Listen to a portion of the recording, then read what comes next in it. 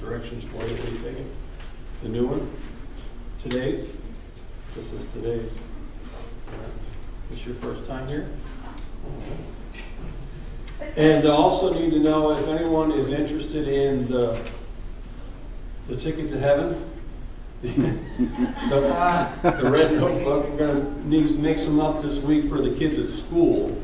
So if you want one of these, uh, disciples notebook, again, in there, there's, it's divided into four sections along with Acts two forty-two, the apostles' doctrine, fellowship, and breaking of bread and prayer. And of course, for that prayer list, you can put the back in your prayer section, and uh, keep track of that as well. And also, I had some requests for some of the uh, books, so the books are available to be printed again as well. This is the, uh, this is the story about the church, the church at the cross, Uh, reclaiming the heart and soul of the church at the cross through transformational accountability. So that was our, uh, our doctoral uh, work there that we finished back in uh, May of 2013. So got all that for you. And then, of course, uh, if you need an outline, I think you got everybody got an outline for today, so we'll be all set. All right, anybody want to share from their prayer this first week? Oh, their scripture they were reading or their, um, some thoughts that happened? I know there's a couple that shared already, but if you want to share. You, yeah? Go ahead, yeah. Okay, Deuteronomy five seven, do not worship any god except me. And First Thessalonians, always be grateful, always be joyful, and never stop praying. So the physical would be praying for Oliver to recover, and the spiritual would be prayer keeps us joyful. Great. Well, update on Albert, Calling now, update, see? you know, he's, he's free, and I guess they call him, doesn't mean a whole lot, you know,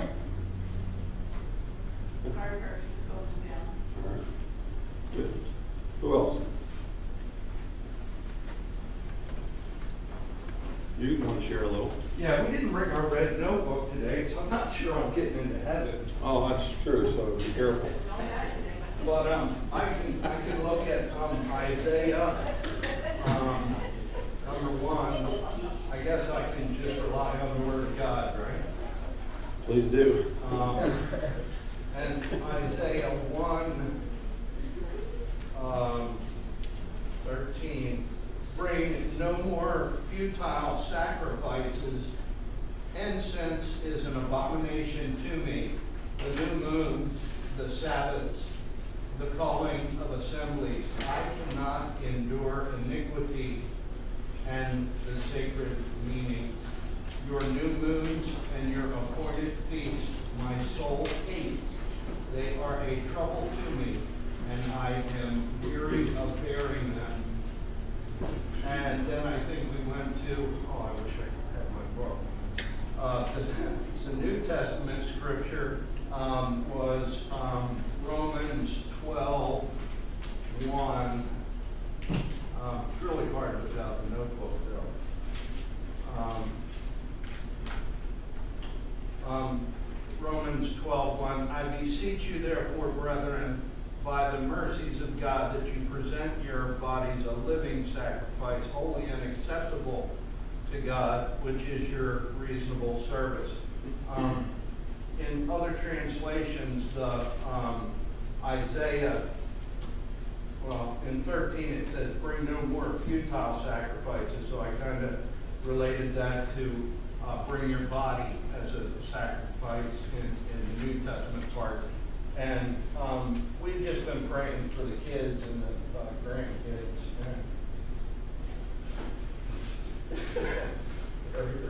Yeah, we had an opportunity to go, and go do a little, go out on a visitation Yeah. and uh, minister a little bit. and got Three, four little angels here this Yeah, morning. they came to visit us. so. Came to visit, so praise the Lord for that. I'm excited.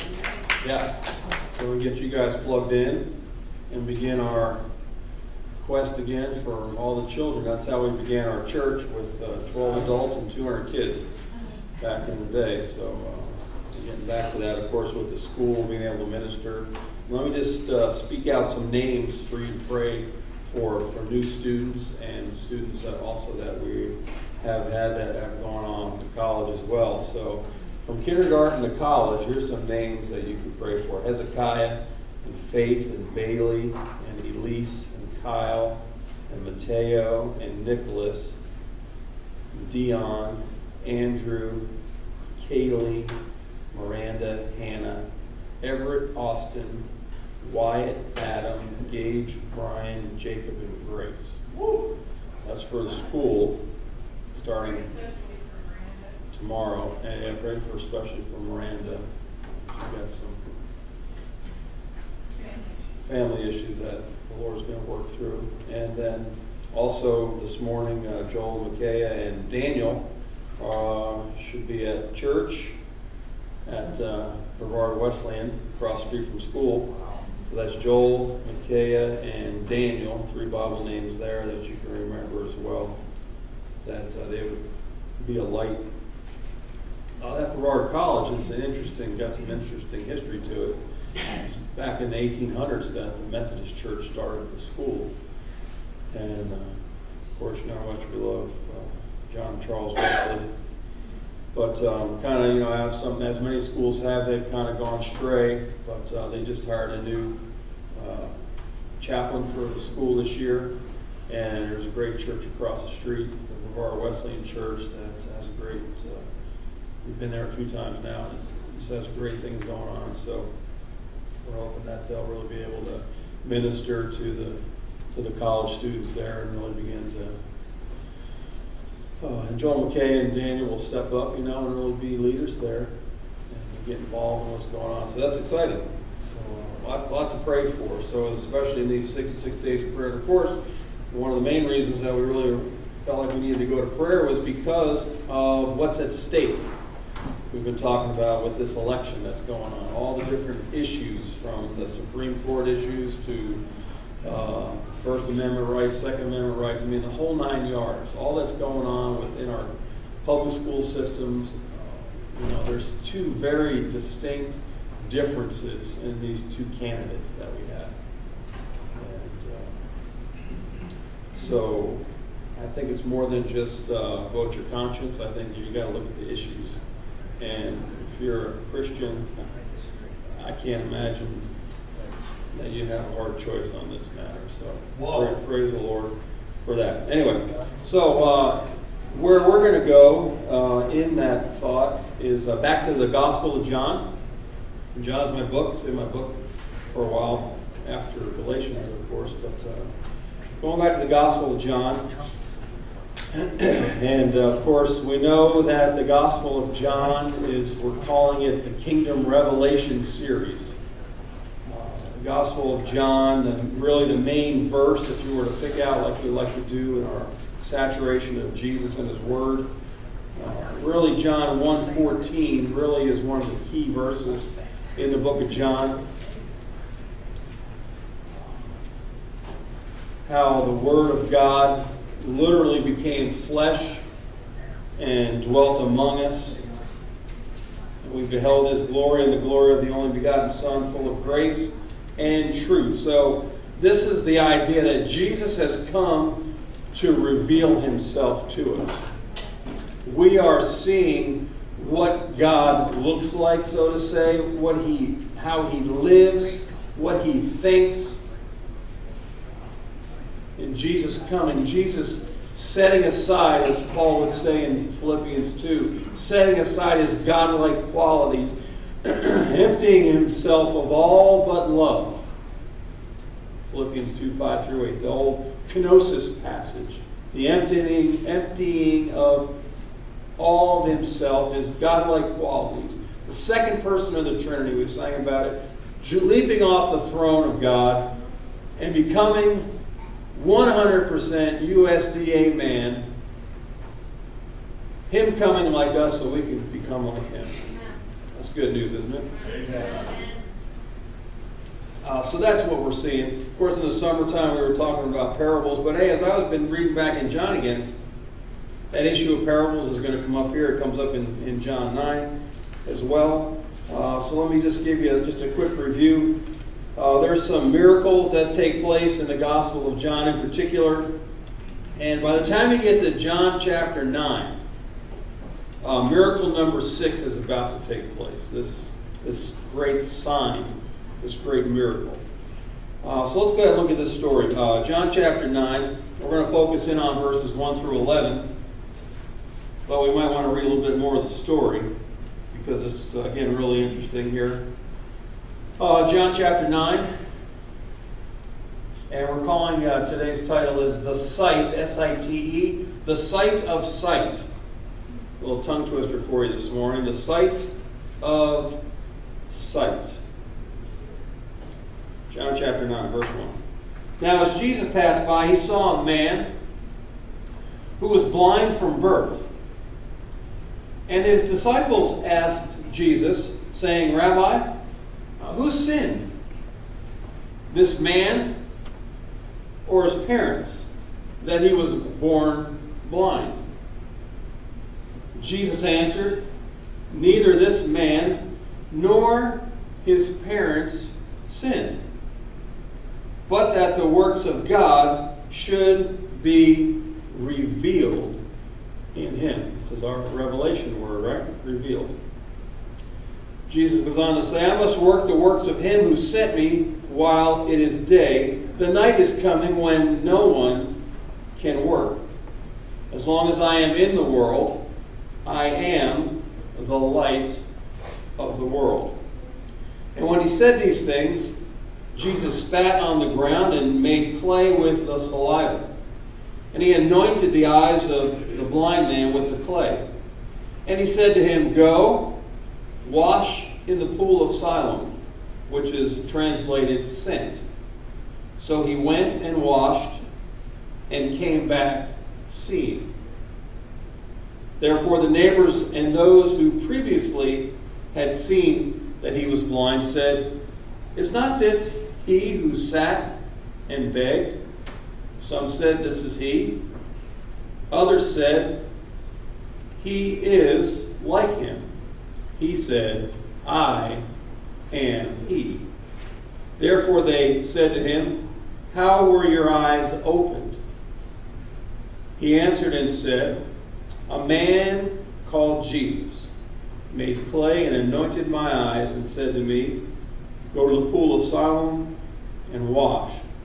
So I went and washed, and I received sight. Jesus, uh, what a miracle.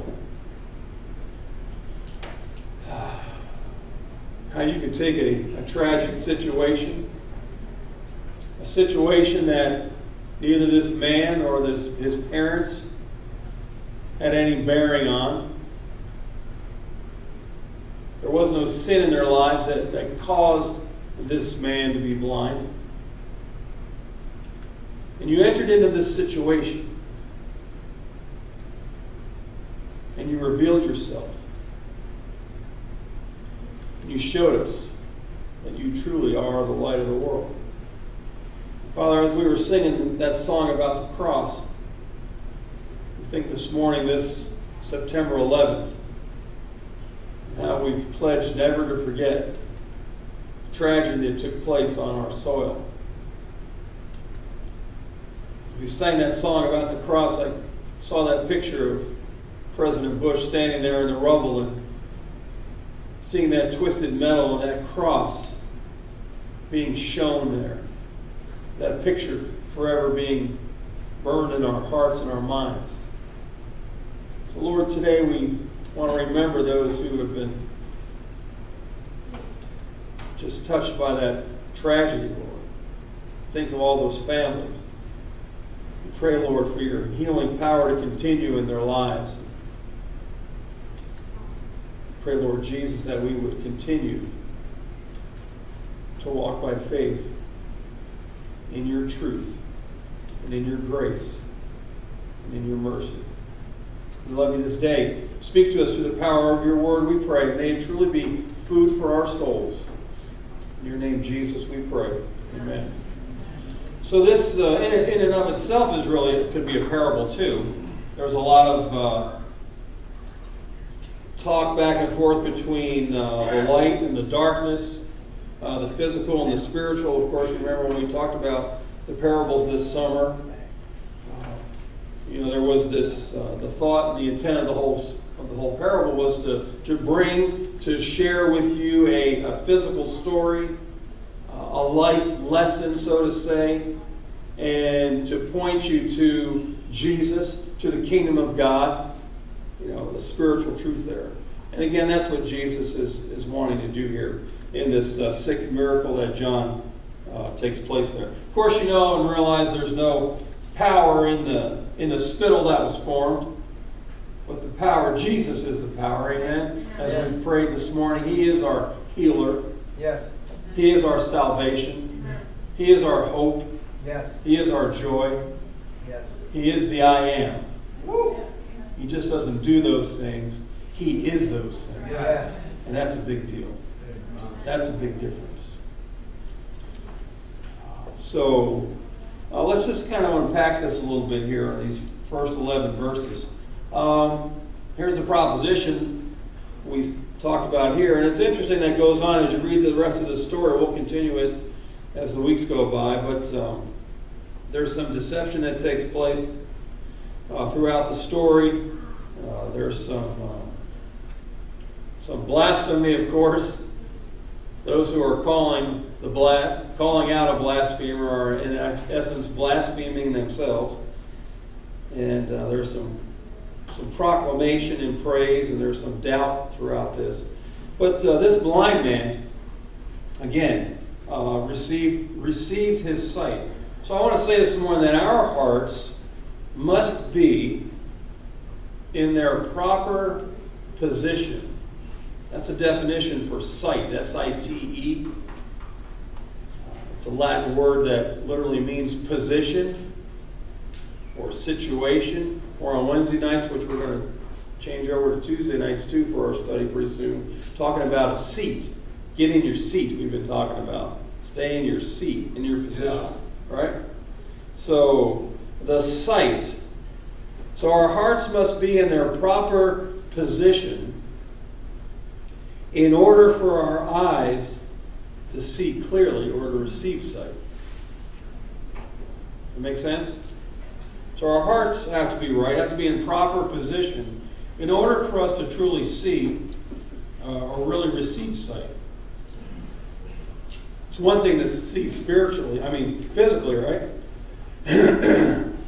and completely another thing to see spiritually. Um, just because you see something physically doesn't really mean you might believe it. And what about those, as Jesus said, who, who believe and have yet not seen? Yeah. Right. So here's an interesting uh, thought here in, in these first 11 verses. All right, so uh, starting in verses 1 through 3. Uh, Jesus comes on the scene. He sees this blind man from birth. And immediately the disciples ask, uh, Who sinned? Uh, of course, there was a thought back in the day, and I'm pretty sure that thought is still pretty, uh, is, is, a, is pretty much alive and well today. Um, we look at a situation, we see someone with a, a, tri- a trial or a tribulation or uh, a physical ailment, uh, like they did back in, in Jesus' time and even before, and they see this ailment, this, this um, blindness, and they attribute it to some kind of sin. Jesus said, wait a second, nobody sinned here. Nobody sinned. Uh, if you remember from our board, we live in a, in a fallen world. Yes. And one of the age old questions we try to talk about or try to address a lot of times is why do good things, why do bad things happen to good people? Well, we live in a fallen world, for one. And uh, sin is alive and well in our world. But yet there is the truth of Jesus that sets us free. He is the chain breaker. He is the one who sets us free.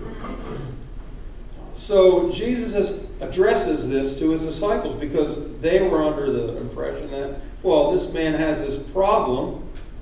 There must have been some kind of sin. Now, we spent some time a few years back in the book of Job. And it was the same thought process back then. The trials and tribulations that Job went through had nothing to do with sin. The man was holy. The man was without was blameless. He sought after God. He was faithful. And yet, many, many bad things happened to him. His kids were, were killed. He lost his, his land, his fortune. Uh, His wife uh, basically told him to, to, to curse God and die. I mean, you are a pitiful sight, Job. You, are not the man I married. Uh, his own friends came out to, to mourn with him and, and tried to give him some support and wisdom. And yeah, we find out that his friends were, were just as lost. But Job was faithful in all of that. And he believed and he knew that God was going to show up. And show up he did in a whirlwind, didn't he? Yeah. And he said something in the effect that the, the eye of his soul, man, he could see with his eyes. And God showed up.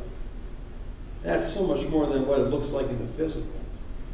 And as we know, things aren't always as they, they seem to appear. So we've got to be able to see, especially in these last days, we've got to be able to see and discern with the eyes of our heart. So Jesus is getting to that point, I think, here in these first 11 verses. he takes this young man and he addresses the issue of this deception. Excuse me. Sight's deception. Sight deception. See, the deception is what? Well, something bad has happened to this young man. Obviously, some kind of sin must be attached to it. Sight deception. Who sinned? Did this young man sin? Did his parents sin? Jesus said, no, nobody sinned. This has happened so that God would be revealed, which is the whole essence of the book of John. The continual revelation of Jesus. And I would go as far as to say that would be a part of your purpose. If our purpose, as we've stated for the last, I don't know how many years now, is to be the house of God, if your purpose is to be one with Jesus, then your purpose in that would be to reveal Jesus in your very life. You are to be the platform, we've said, upon which he lives and moves and breathes. You are to be a Holy Spirit empowered instrument of Almighty God. You are not a human doing, you're a human being. Yeah. Let him be, as you prayed, what he wants to do in and through you. Yeah. Let him live his life in and through you. So, in times, especially in these last days, we're seeing the lies are running rampant. I mean, whether you're looking at campaign stuff, whether you're looking at school board stuff, whether you're looking at governmental stuff, whether you're looking at business stuff, the lies are just flying all around.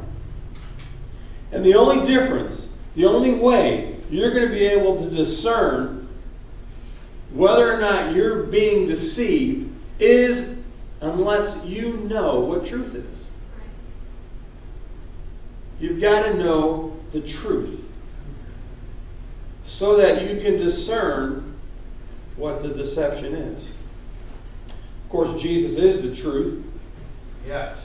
Right. So, of course, he can speak these thoughts of, hey, there's no sin here. This has taken place so that God would be revealed in him. Move on to verse 4 through 7. It's sight work, S I T E work. Sight work. Jesus says in verses 4 to 7, I must work the works of him who sent me. This is how Jesus lived his life. Jesus just wasn't sent down from heaven and God said, Jesus, you go and do what you think is right. You go do what you believe is right. You go do what you think you need to do. I'm going to stay up here and you know, I'll send you an email every now and then. And uh, you just do your thing and we'll applaud and you'll get all the credit for it. That's not how he lived his life. That's right. A major uh, theme throughout the book of John, of course, is Jesus didn't do anything except what the Father did in and through him. Jesus is the perfect example of what it looks like to be a human being. I am so sick and tired of hearing whether it's an old song from the 80s or whether whatever it is, or there's commercial on TV now that says, We're only human. As if that is some less than thing. God created humans. Genesis 1. He created humans in his likeness, in his image. And I know that God don't make no junk. That's right. So to say I'm only human, which I grew up with this song, born to make mistakes, is just an absolute lie and deception. You were born to be the house of God. That's right. You were born to be the temple of the Holy Yeah. Spirit. You weren't born to sin. You can choose to sin if you so choose to. But if Jesus is running wild in your life, why would you want to sin? How could you sin He's Lord of your life? Now, if you want to turn your back on Him, if you want to take over the reins, if you want to take, be in the driver's seat, whatever those, however that works for you, if you want to do that, that's totally up to you. But that's not how Jesus lived his life with the Father. You can go back to the, the great temptation of Christ in, uh, in, in the temptation scene in Matthew 4 and see how Jesus came against temptation and trials. Man shall not what? Live by bread alone, but by every word that proceeds from the mouth of God. There's another parable for you physical versus the spiritual. So in verse 4, he tells us again, I must work the works. It's not like a must, like I have to. It's, it's a statement that says, This is the fruit of my life. Because of my relationship with the Father, the works of the Father come through me. Because of your relationship with Jesus, the works of Jesus come through you. Now, maybe the works of Satan come through you. Well, who do you have a relationship with? There were days I remember that, uh, hey, my theology was all messed up before I got saved. So I thought, you know, and I believed God loved me. Hey, as long as we sang, I believed. The three in one Trinity. Hey, you could all the foundational truths of Christianity I believed, yet I was not in right relationship with Him. My heart was not in its proper position. Wow.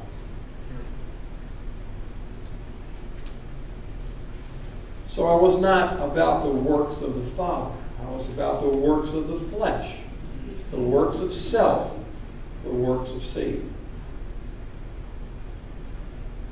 And he goes on to say this As long as I am in the world, I am the light of the world.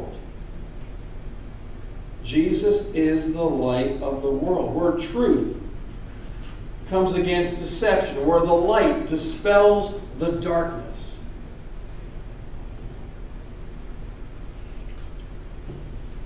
And as he said these things, he anointed the eyes of the blind man. And he said to the blind man, Go, wash in the pool of Siloam. And the man responded, didn't he? And he went and he washed and he came back seeing. Talk about blind faith. He literally had blind faith then. Yeah. And his blind faith became crystal clear, didn't it? Uh, the third part there, just, just trying to unpack this a little bit for us. So you see this man, he is he's come back, he's seeing, and then verse 8 begins, Uh, so his neighbors, his friends, those who had known him for all the years uh, as a blind man, uh, have now questioned the sight, the, the proper position of their hearts, really, is questioned here. The sight is questioned, S I T E. Not so much the physical sight, but it's, it's more, it goes deeper than that. I mean, how can you question it when he says he sees you now? You can't really question it because it's happened. So the questioning is really deeper than, than this physical sight. The questioning that's going on in about is their hearts. They're questioning because their hearts aren't right, right? So therefore, the neighbors and those who previously had seen that he was blind said, Is this he who sat and begged? Some said this is he, others said it's, well, he is like him, as if they did a switch. Well, it's kind of like him. Well, you know, his, his disciples went and they stole the body. It's like him. But the man said, I am he. It's me. This is me. The one who was blind, but now I can see. So they ask the question, well, then how were your eyes opened? You Gotta love that question, right? You gotta love when people ask you why something has happened to you. Why are you so happy in this terrible situation? Why is there this glow about you? Why is there this strength I can see about you? Why don't you curse that boss like everyone else does? Verse 11. Let me tell you about S I G H T. Sight by faith. The man who was blind since birth said, A man called Jesus. He made some clay, anointed my eyes, and he said to me, Go into the pool of Siloam and wash. So I went and washed, and I received sight. Wow.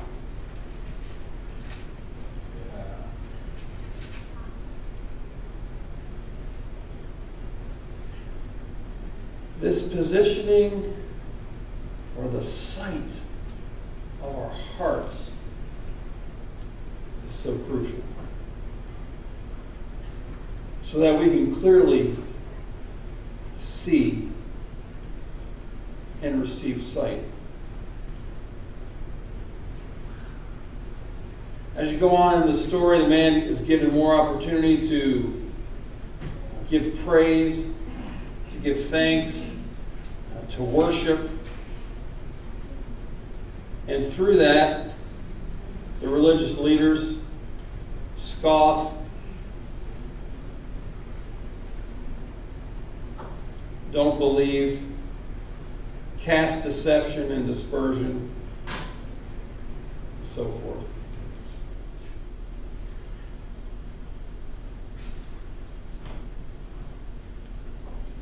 Can we see clearly in these last days? With all the deception that's running rampant around us, with all the lies, with all the propaganda, with all the stuff that you have to deal with in your lives. How can you make sure that your hearts are in their proper place, their proper sight, so that you can continue to see clearly?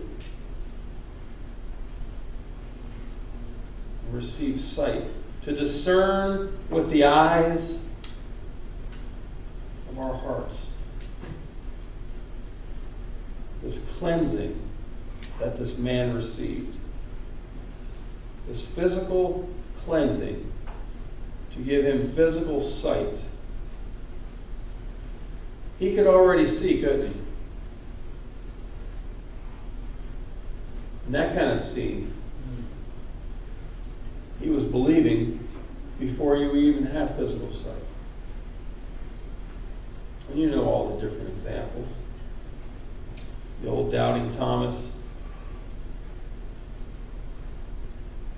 Or Thomas gets a bad rap, we know. But I look at the positive side of Thomas and say, hey, Thomas wanted to see with his own eyes. And Jesus said, Here you go, Thomas. But blessed are those who believe and have not seen. Is there an issue in your life this morning that's causing you some kind of great grief? That's causing you to question to question God, to question an issue of sin. The greatest thing, one of the greatest things about holiness is that if there is sin in your life, guess what you can do? You can respond. You can die to yourself. Yes, You can offer yourself a living sacrifice. that's right. You can be crucified with Christ, mm-hmm. so you no longer live, but Christ now lives in you. And Paul makes it so clear that we do not have to continue in sin any longer. Amen.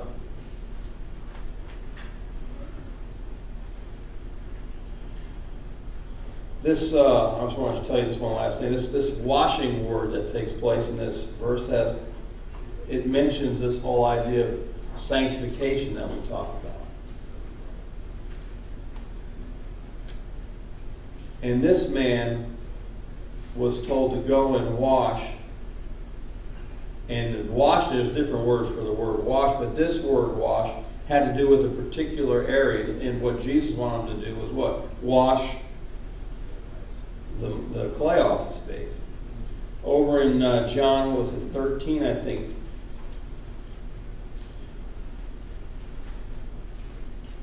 Where Peter uh, is asked to uh, wash the disciples' feet, and Jesus says, this is um, John 13, 7, the Last Supper scene. Jesus came to Simon Peter and said, Peter, you are, and said to Jesus, Lord, are you washing my feet? When Jesus came to wash their feet. And Jesus said, Well, what I'm doing now, you, you don't understand, but you will. After you will know after this. And Peter said to him, You shall never wash my feet. Never say never to Jesus, right? That's right. Jesus answered him and said, If I do wash, if I do not wash you, you have no part with me. So Peter said to Jesus, Lord, not my feet only, but also my hands and my head. So there's Peter, always over the top. Jesus said, He who is bathed needs only to wash his feet. There's the contrast there. You don't need a whole bath, here. We're just here to wash your feet. And the reason we're washing your feet is to give you, again, another parable in, in a sense, to show you this servanthood attitude, the submissive heart. It always goes back to the heart, doesn't it? It always goes back to the proper position of our hearts.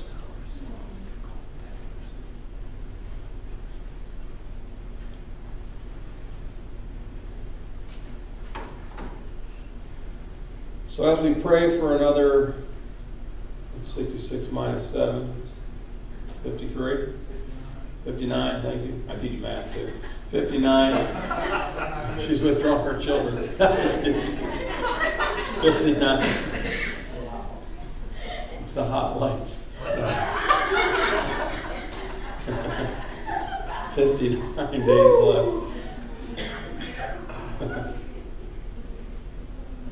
Could we receive this kind of sight?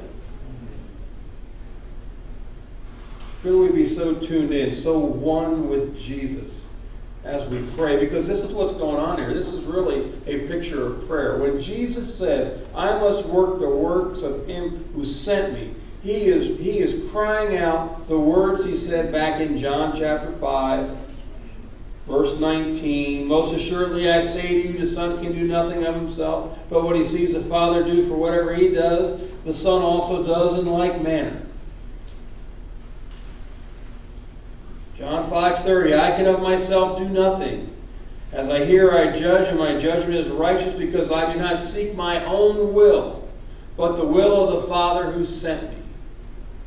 This is that kind of prayer that we talked about last week in your notebooks there. That's that word that talks it's more than just praying and asking for something, a petition. It's a prayer of intimacy and oneness. It's, it's, it's as Oswald Chambers said, right? Prayer is not getting things from God, it's getting into communion with God. Yeah. See, this is the we want to practice His presence day in and day out through the power of the Holy Spirit. Walk in the Spirit these next days and clearly see and be able to discern wherever we go, whoever we come in contact with, to truly be ministers of the good news of Jesus. Yes. Let's do that together because we are the church at the cross. Our way of life, the cross style way of life. Lord Jesus, thank you. And we see like you see. And we love like you love these next days. And we reach out like you reach out. May those things that concern you concern us. We offer ourselves again to you. We ask you, Lord Jesus, to run wild in our lives, to sanctify us through and through, to cleanse us, transform us from the inside out. Truly, may we walk by faith. We trust you every second of every day.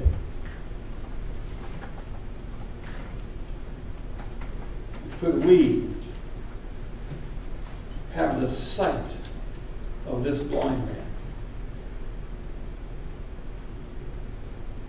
who could see you before he could physically see, who could believe and trust you blindly. Maybe so.